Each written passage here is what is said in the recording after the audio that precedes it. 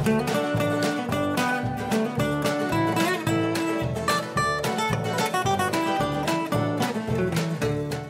ーヒータイムということで今日はオリジナルブレンドですね。田島屋さんのオリジナルブレンドです。深入りの方ですね。ということでまずはね蒸らしから。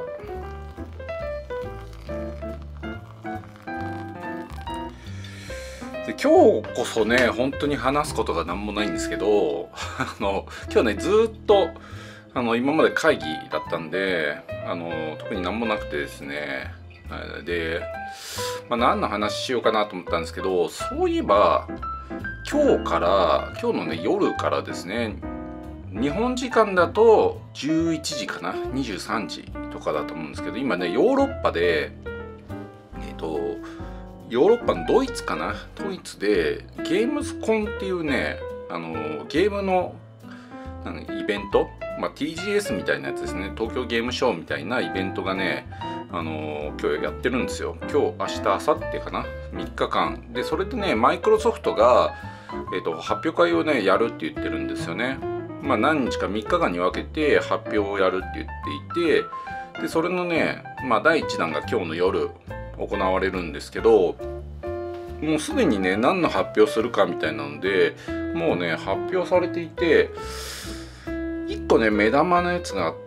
とあとなんかなんだっかなちょっと忘れちゃったな。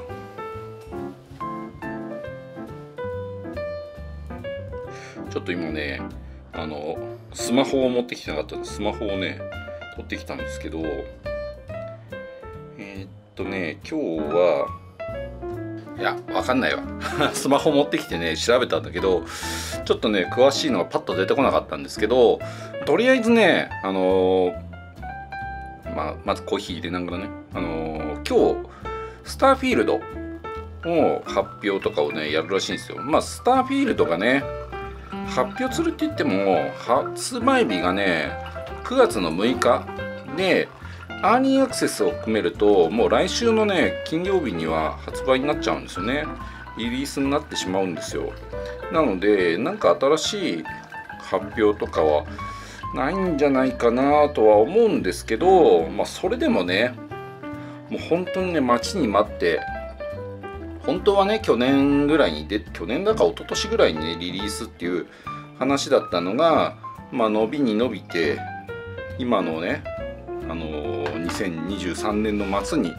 なってしまったわけで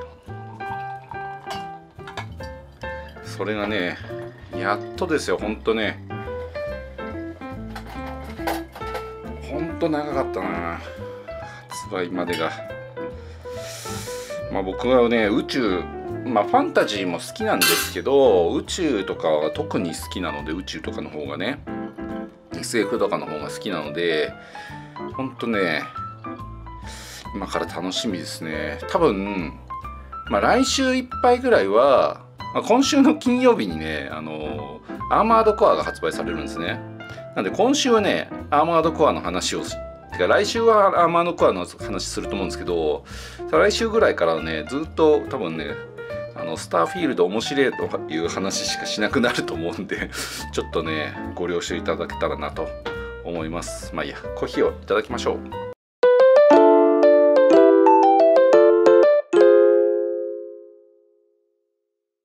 はいコーヒーいただきます。今日はねちょっとねあのー、先日友人に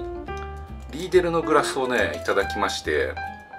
それでねあのまあワイングラスなんですけどワイングラスってねあのまあ特にこのスタンダードのタイプのやつですね。でこの香りの立ちがすごくいいのであの何のねドリンク飲むにしても向いているんですよ。ただ熱々のやつを入れるとね割れる可能性があるんでちょっとそれはしないですけどこのねアイスコーヒー。涼しげでしょ？これでいただこうと思います。あ美味しい。最高だね。うん。でここのねこのねグラスってこういうねここの部分この口がつけ口をつける部分ですよね。ここの厚みによって味ってね結構変わるんですよ。ここの口に当てた時の食感まあ、触った感触ですよね。食べた時の食感じゃなくて触った食感とかそこにから伝わる厚みによってねここの唇のところの冷たく冷たさを感じるとかそういうのでもだいぶね味に影響するらしいんですよね。なのでこういう細いグラスだったりとか逆に太いグラスとかなんかそういうのでねだいぶ味が変わって面白いので自分のね好みのグラスっていうのを探すと楽しいかもしれないですけどね。あのー、牛乳瓶で牛乳を飲むと美味しいっていう原理あれはね牛乳瓶の蓋あ縁この飲み口のところがすごい分厚いじゃないですか。あれが口のところに当たって冷たさがね出るからあのお風呂上がりとかね体が熱くてほてってる時にあれで飲むと最高に美味しいっていうのはそういう理由らしいですね。ビールジョッキとかもそうですよね。あのー、冷たいのでてか暑い時に冷たいビールジョッキで口の周りにねから冷たさを感じるみたいなね。そういうのがあるんですけどまたこれをねこういうね薄いグラスで飲むのもまたねいいんですよね。うん。最高。あうん。最高に美味しい。で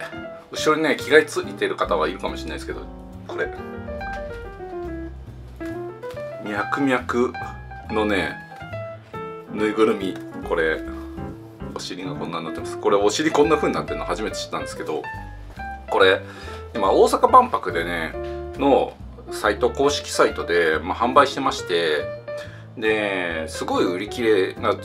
まあてかね1分ぐらいで売り切れてたんですよ。でそれなんで手に入れたかっていうと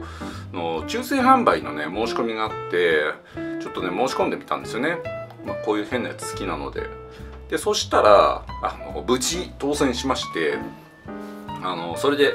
購入したら今日届いたっていう感じですね。脈々、う